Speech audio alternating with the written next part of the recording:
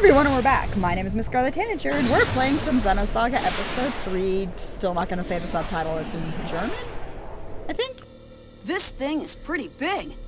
That's what she More said. Like an asteroid than a rock formation. Hi, Chaos. It's 70 kilometers in diameter.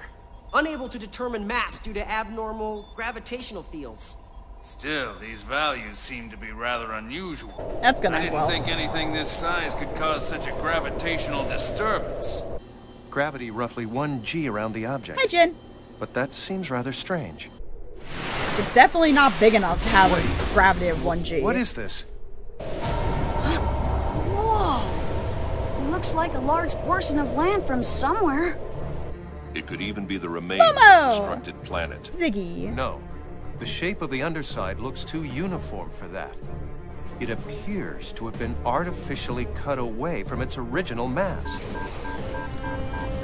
Multiple unidentified craft are approaching. And of course, Momo's entire design got changed again. Tony! Damn it! Is that Ormus? It's nice of them to greet us.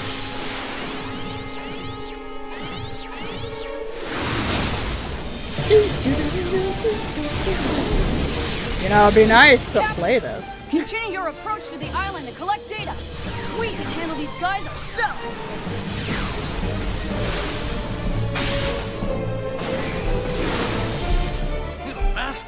Now wait just a second! Is he telling us to go there by ourselves? No way in hell. We don't get any hazard pay. They give you hazard pay if you ask.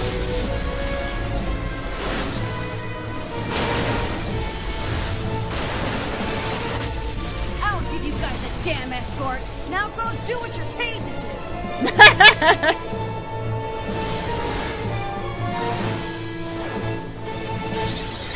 Some gameplay in my video game. I. Guys, praying about attacking in ES battles. Yeah, okay, this is different um, from the first one. You can pick attacks.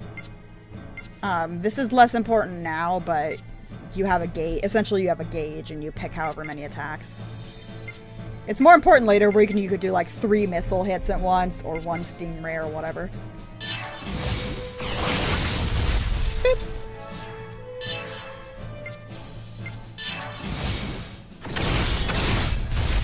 If I remember correctly, you upgrade the ESs just like you would upgrade, um... Like, they level up just like, uh... Just like your people do. So sort of like how it was in the second game. Boop boop.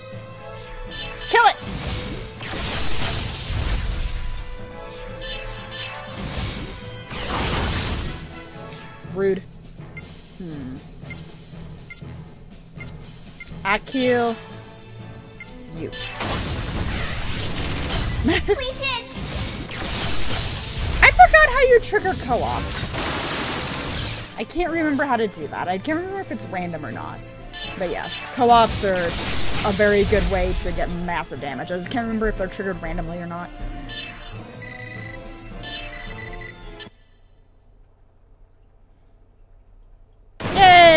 That was easy! How's the Elsa? It's safe. Is it though? It's gathering data at coordinates KZ255, Y724. Okay. Momo and Jin, you go guard the Elsa. Right. Roger.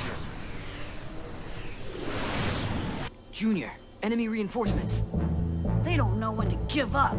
How many are there this time? Don't worry about it. Just one. And it's after the Elsa. Uh-oh! You're on the way, what? Be gone! Rude. Well, well. Your inexperience is beginning to show. Rude. Is that a new model? Momo, stay back! I'll take him down. Will you though? what? Will you though?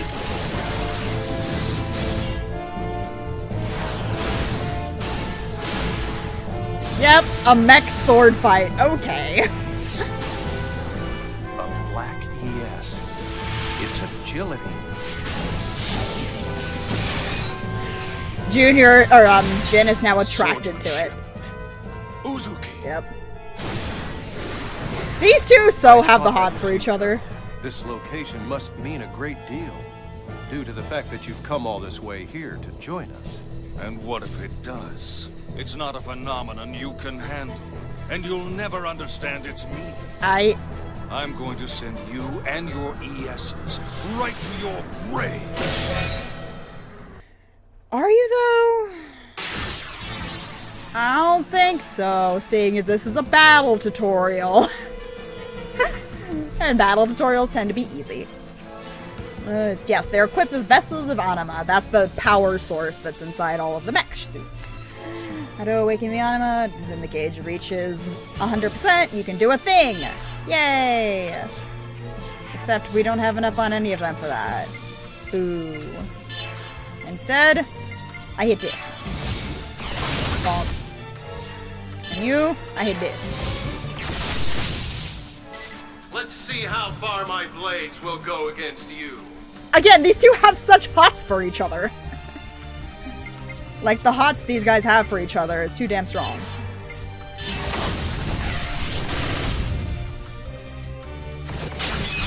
Both shots of the mo something moan. Hmm. Nice name for an attack there, Green.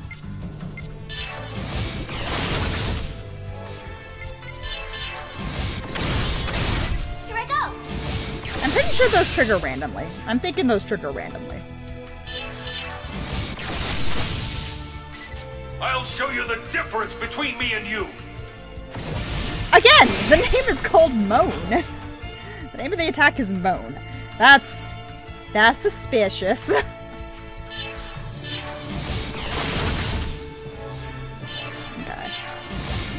So the one who gets their first anima attack is Jin. Do it, Jin.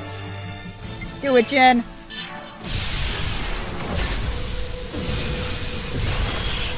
But wait, you guys are in Don't space. There shouldn't be any noises. Is that the extent of your power? Shut up, Barry. Ah, crap. Yeah, when you do the Awaken Anima, you can either get a whole bunch more of the EN, so you can do multiple regular attacks, or you can do the special attack. If I remember correctly, might be wrong, I haven't played this game in a while. I used to play it a lot, though. Like, an obscene amount.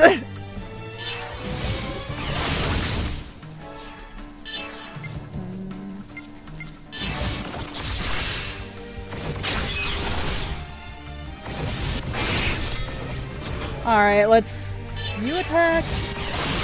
I can't remember what Zebulun says. Zebulun special attack. Arid Star. Oh, it's just an Ether Beam attack. it's almost dead, though. Again, it's not it's not gonna be a hard fight. It's a tutorial. They ain't gonna do that to us. Okay. Your turn for anima. You, special attack.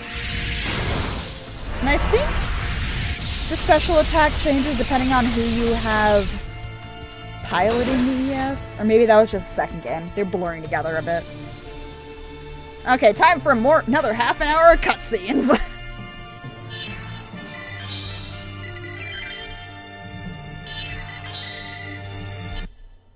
half an hour of cutscenes. Excellent. Colonel, what is Ormus so concerned about? The last cutscene was pre was um in-game rendered. This one's else to say to pre-rendered. I wish they'd have You them all in-game rendered. your ignorance. Now it's time for you to die. Okay. Another What's this? another dick measuring contest between Margulis and Jin. Momo, what's happening? It's a space-time transfer. An anomaly has manifested around the landmass. Imaginary number values increasing. Get the fuck out! phenomenon surface is rotating in reverse phase. Speak English! You have to get out of here now! Run.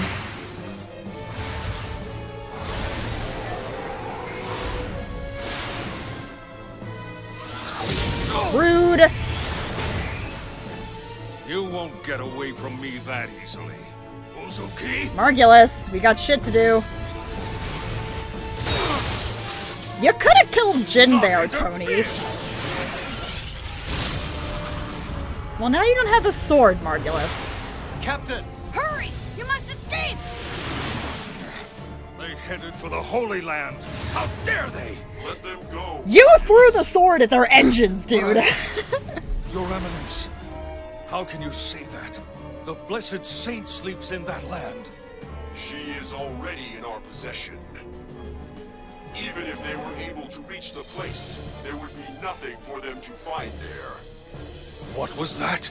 Don't tell me you have already acted. Obviously.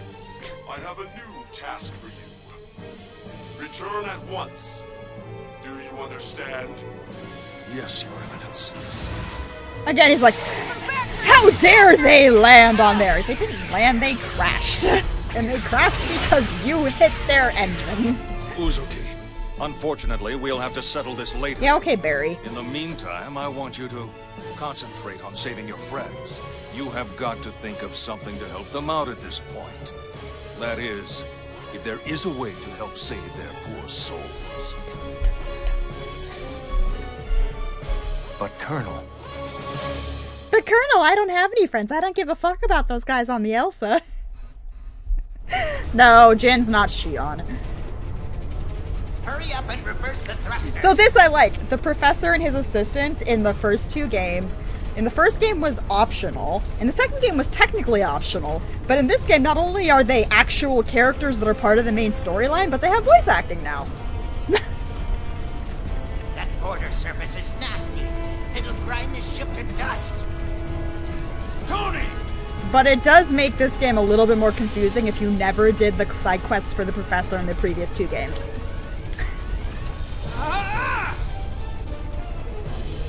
This, ain't happening. This ain't happening. It's fine.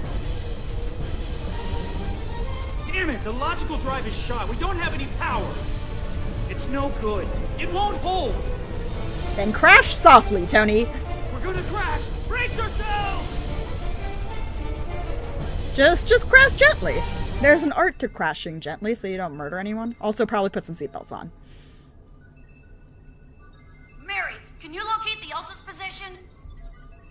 We're on it. Wait a sec. How are we? Did you trace it? IFF lost, unable to determine the Elsa's location. God damn it. Were they shot down? Obviously. No way. Besides, we didn't detect any explosions. Regardless of what happened, we won't be able to learn any more from here. Let's hurry to Little Master's location. Yeah. Hear that, little master? Wait just a little bit. Yeah, gotcha. Please hurry. And it's like not like there's anything else Junior could do. Jin, how's it look over there? I'm afraid the Rubens sensors won't be able to show us anymore. We'll have to wait for the Durandal's arrival. Damn it. Just be okay, guys. And this is all an ex- see Save the game? an entire chapter. And all it was, all it was was cutscenes and some ES tutorials. I didn't even run around much, really. In fact, I don't think I ran around once. Well then.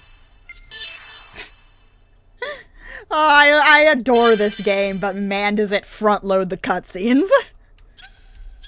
If I remember correctly, it's not as heavy-handed later on, but definitely front loads them. Probably because it has to explain what the hell is going on.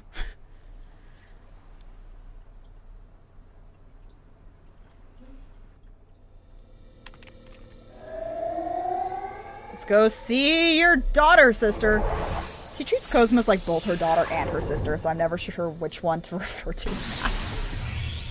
Because she's simultaneously both.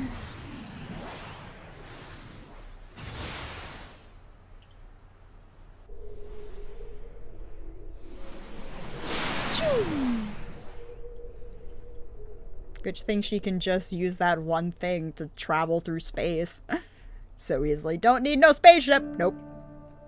Okay, here's our exposition dump of what the fuck's going on. One year has now passed since the battle in Old Miltia space. Ever since the Zohar was swallowed up by the giant Gnosis, the Gnosis phenomenon has increased in frequency, and the people are now constantly exposed to its threat. Yet, despite the large number of star systems that have been destroyed by the Gnosis, people continue to resist, refusing to cooperate with each other. Sounds like the COVID 19 pandemic. One pointless conflict after another. Ooh, hits right in the topical. I found myself full of questions. I wanted to know more about the immigrant fleet, the organization that was behind the Miltia conflict, as well as the words that were spoken by the patriarch Sergius. He said that the Ormus are the rightful possessors of the Zohar. So I began to investigate. I was in Xenosaga 2, I, I wanted believe. to know more about the relationship between the Miltia conflict and the Zohar on my own. Six months ago, I encountered a group of people called Scientia. I was able to obtain their aid as I found myself becoming more and more involved in an incident that revolved around a mysterious program called Lemegeton. It turned out to be a Zohar control program, which was developed during the Lost Jerusalem era. Its creator, Grimoire, continued to wander the UMN as a mental entity in search of a being. He was searching for Nephilim, the girl in the white dress that has appeared before me countless times. The existence of an organization controlling Grimoire from the shadows came to light. Vector's Special Technology Advancement Division.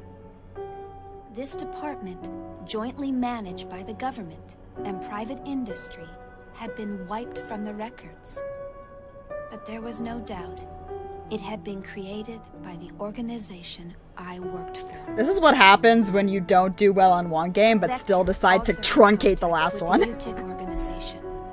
And the UTIC organization was connected with Ormus. But the evidence was concealed, and the truth had been buried away into the darkness. Everything except for one fact. I found out the name of the individual who was in the lead position at that time in the management office. When I saw the name, Suo Uzuki, It's her daddy. I felt nothing. No surprise, no sadness, and no anger. To be honest, I felt nothing at all. Obviously not. Somewhere in my heart, I think that I must have expected it. All I could feel was a sense of resignation, knowing that the inevitable had finally come to pass. And I decided to quit my job at Vector. The friends I made there, and Cosmos, were the only bonds I had linking me to Kevin. But I couldn't stand being there any longer. Maybe I did it to atone for all of the victims.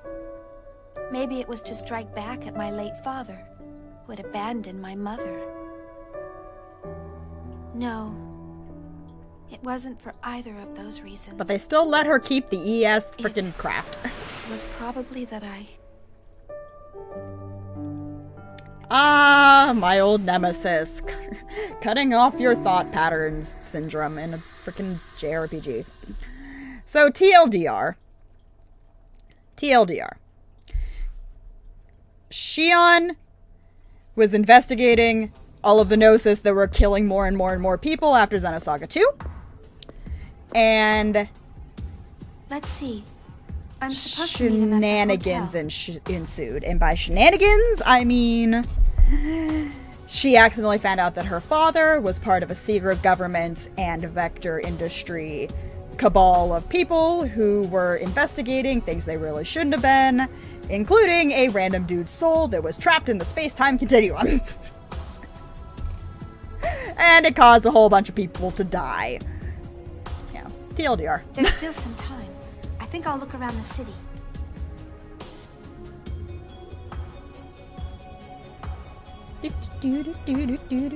Let me run. There we go. I do like her outfit in this game. Even though that shirt really does not make sense. You to talk to me? Try pressing the square button. That starts a conversation between us. Cool. cool story, bro. Ah, this fucking game. Oh, wrong way. This way. Whee! I mean, this game does look really good for a PlayStation 2 game, even though I am playing it up-res. What's this? You must be Shion Uzuki. We've been expecting you. Mr. Alan Ridgely is waiting for you at the Mobius Hotel. The hotel is located in the nor northern part of the first business district. Cool. Send it for the Jerusalem? Yes.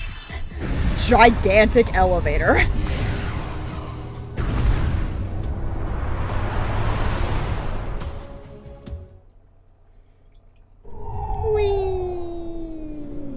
So this idea of having a spaceport that just has a giant tunnel down to the surface of the planet, I actually really like it. I think I might have seen it in a couple other space-themed ones. It sort of explains the whole plot point in this first game, where Shion, or well, Where am I? where the Elsa was gonna burn up in the atmosphere, even though it was a spaceship. It's because most spaceships in this series are made to be made in space to be in space, not to actually go to a planet. You're fine, Gaignun. Get away. Stop. Stay back. This is only gonna end well. Stop. Stop it. Stop it. Don't touch me. Phrasing! Stop it. Don't talk to me. I refuse to acknowledge you. Stop talking to me. Apparently he doesn't want to. I won't do what you want. I. I. Voodoo. God, I love the writing in this game. Ooh, do. Yuriev? Dr. Yuriev. And there's it. Yep. Mm-hmm. Gaignun is Dmitri. Is something wrong? Are you not feeling well? I'm just having some trouble getting along with my son. I'm fine. Please continue. I- Yes, sir. Currently, the operational experiments are underway in the research ward.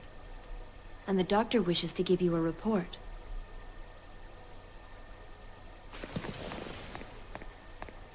I see. Accompany me, Citrine. Yes, sir. Yep. She's the only female URTV. Super spiffy. I like her outfit.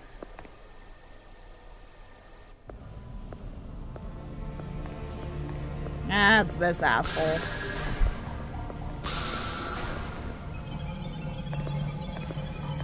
Sup, you jerk. So, you finally decided to come listen to me, Dmitri Yuriev. I see you're as unfriendly as ever, Sellers. I don't have much time.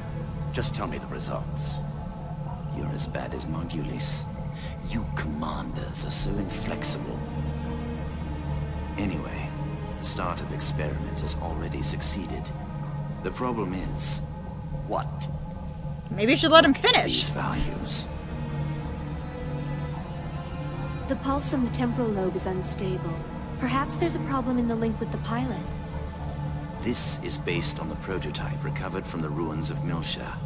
It was originally calibrated for an Ormus priest, so these results are unsurprising. Same as the power supply. It was designed to match the original Zohar. Currently, we're operating it using the spare emulator unit I constructed.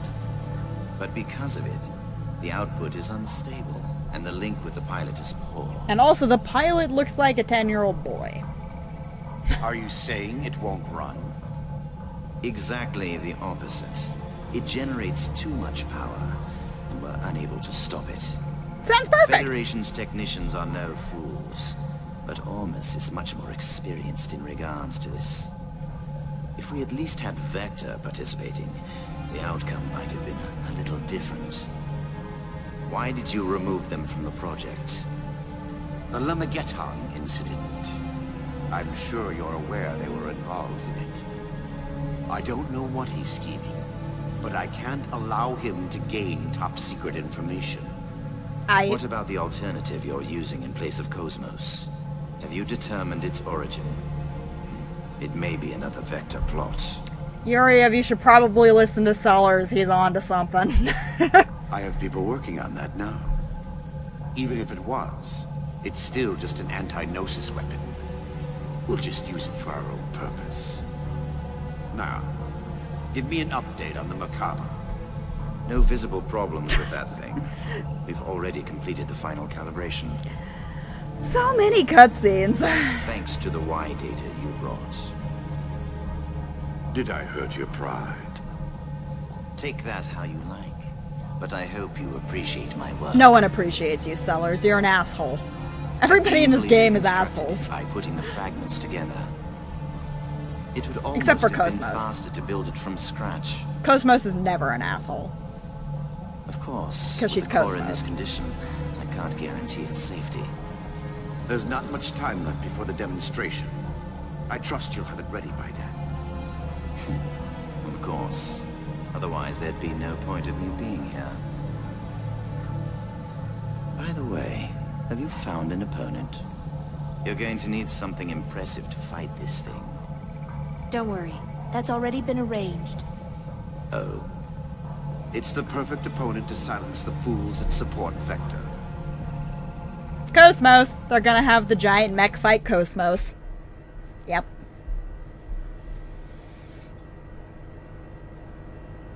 Here's the Cosmos. Big news! Big news! Hey, where's the new chief? If you're looking for Chief Ridgely, he went out to the city. Alan! He said he was meeting someone. A meeting?